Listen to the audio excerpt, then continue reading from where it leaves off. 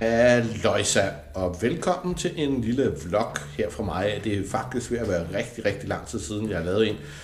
Men nu er det på tide, at vi får kigget på noget igen. Uh, og grunden det er, at uh, hvis I har fulgt med på min kanal og set nogle af mine andre vlogs, så ved I, at Magnus, som jeg er min dreng, og som jeg nogle gange laver videoer sammen med, han plejer at sidde ved siden af mig op øh, ved vores computer. Men han er flyttet. Han er blevet smidt væk. Nej, han har rigtig godt længe kunne tænke sig at få lov til at have computeren på hans værelse, og øh, det har han så endelig langt om længe fået lov til. Og samtidig med det, så er der også mange af jer, der har spurgt om, hvad det er for et setup, han kører. Så vi har egentlig manglet en setup-video fra Magnus' side af. Så jeg tænkte lidt, at vi kunne kigge ind og se, om han har lyst til at vise hans øh, værelse frem. Og øh, vi lige kigger lidt på, hvad er det for nogle computer, han også han har stående. Så skal vi ikke lige se, om, om han er hjemme herinde på hans værelse. Hej. Der stod du lige helt klar.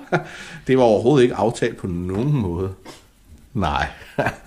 Nå, Magnus, jeg kan se, at du har ikke lukket klædeskabet. Skal vi se alle dit, alt dit tøj? Åh, oh, ja, ja. Um, hvorfor har du hængt den der t-shirt op?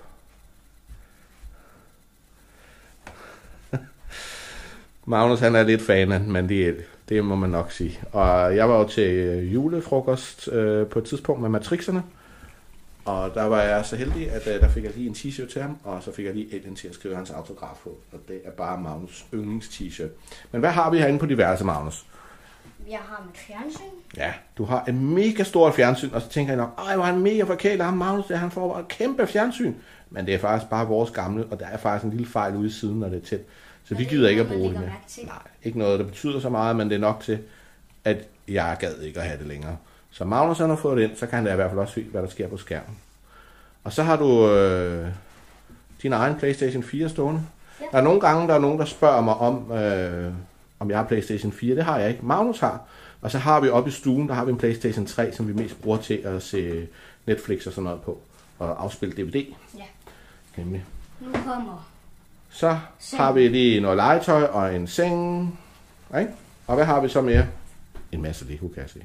Og bæstet. Magnus han har sygt meget Lego, som er sygt meget. Nede i den der kommode, vi så på lige for et øjeblik siden, der er to af skufferne helt fyldt med Lego-klodser. Ja. Så har vi øh, dit helt nye skrivebord. Ja. Og hvad har du stående? Alt muligt. Alt muligt. Du har... Blandt andet Coca-Cola ting ting. Ja. Men du har, du har jo, du fik jo en computer sidste år, da vi var til Powerland. Der købte jeg, der købte jeg sådan en Acer computer til dig, ikke? Det er en Asus. Asus, ikke Acer, sikkert noget pjat. Asus computer. Den er Mm. Hernede. Ja, og du fik en ny skærm, en 24-tommers øh, Asus-skærm også, en gamerskærm. Den er lige Super, super fed skærm. Og så har du min gamle LG-skærm, 23 tommer, også stående derovre. Nej, faktisk klart. Ej. uh, en fed gammel LG-skærm, som uh, vi købte for lang tid siden. Mm. Øhm, vi gør det, at vi sætter, vi sætter i beskrivelsen, der skriver vi lige præcis, hvad det er for noget hardware, du har. Ikke? Men din computer, den har jo 16 GB RAM, et uh, GeForce 970 grafikkort, så har den en 250 GB SSD-disk, og så kan jeg ikke huske, om det er en 2 eller 3 TB uh, disk, du har ved siden af. Det forstod jeg ikke rigtig noget af det der. Og så er det en i5-processor, Skylake. Så det er en ret fed en. Omme bag min skærm her, der kan jeg lige gøre sådan her. Så tager jeg mit headset. Og hvis det lige kunne komme ud. Sådan her. Der har du mit gode gamle Sennheiser, som er ret slidt. Alt, det er helt flade efterhånden. De her hovedbøffer, de er, fuldstændig, de er jo fuldstændig slidt ned. Men det er min gamle Sennheiser. Det er faktisk et meget fedt øh, headset. Det var det i hvert fald. Det er lidt slidt nu. Men det fungerer fint til dig, ikke? Ja, og så har jeg fået Så har du, ja, så har du fået lov til at overtage min gamle Samsung Go mikrofon og mit gode gamle Mandy popfilter og min mikrofonholder. Det var det, Og så har jeg... Det var det, jeg brugte dengang, øh, da jeg startede. Det er faktisk ikke så længe siden, jeg skiftede mikrofonen ud. Men øh, der, var det, der var det den mikrofon, jeg brugte. Og den er ikke så dyr. Den koster omkring 400-450 kroner. Øh, så det er ikke den dyreste mikrofon, og den er faktisk udmærket. Den er udmærket som en startermikrofon. Hvis det er, at du sidder og tænker, jeg vil også godt tænke mig at lave noget YouTube eller noget streaming eller noget, så er den faktisk fin at starte med. Øh, Ja. Så har jeg lavet mit eget lille, det er her. Der har jeg laderen til, wow, PlayStation 4 controller. Nå, du har en lader, så du kan lade dem op der. Yes. Og lader til min iPad. Og lader til iPad. Det er nok en god idé, fordi du bruger godt nok meget iPad. Ja. Ja. Så har du en eller anden ukendt mus, som vi fik smidt i nakken af de søde mennesker for Power, dengang vi købte øh, din computer. Og så har du mit gamle G19 Logitech-tastatur, Mega lækkert. som er et super fedt øh, tastatur med lille skærm i og alt muligt andet.